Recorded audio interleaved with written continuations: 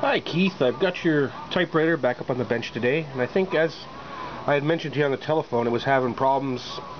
The carrier was coming across stopping at this side and just giving an audible alarm and it wasn't able to home it's a daisy wheel and that was the the cause of the alarm and it just wouldn't go any farther it would just sit. And that ended up being I I don't know why I didn't check the first time but it ended up being these cables here. I needed to reseat them. I don't know why they were they weren't connected properly, but I should have should have checked that first. It's always the first thing you're supposed to do. The first rule is to check all your cable connections, and I didn't. But anyway, that's what that was. So she'll initialize now properly.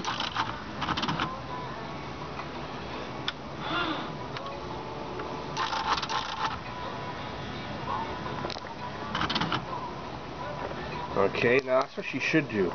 Now I think you'd also mentioned a problem you were having with it typing bars, vertical bars. So I did get a look at that as well, and I'll show you what's going on there.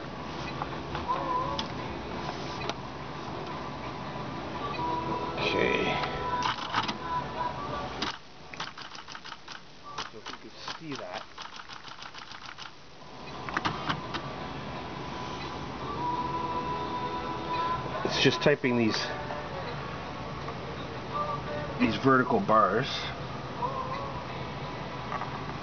Now what that actually is, that's the print hammer. So it's not hitting the letters or the characters properly on the daisy wheel. It's it's it's going between them. I'll I'll try and show you here.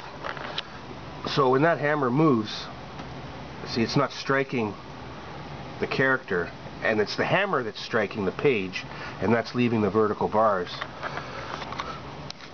Okay now what I'll try and show you again I'll get this this ribbon out of here.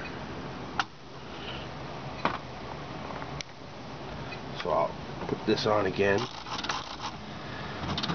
So she's actually turning and spinning properly now. She wasn't before because of that control cable but it's still not aligned and that's pushing right through so what we've got to do is we've got to align that hammer. And so I've got to still, I've got to figure out how to do that. I don't have a, uh, the alignment procedure here, but I'm going to have to wing it. But we're going to have to get that lined up uh, properly. Okay, so I'll let you know how we make out. I just wanted to give you a little uh, status update because I'm running a few weeks behind with the, my repairs, and I apologize for that, but I'm going to continue working on it today. Okay, Keith? Yeah, uh, you guys are having your July 4th uh, today, I think, your holiday, so I hope you enjoy it. I'll talk to you later. Bye.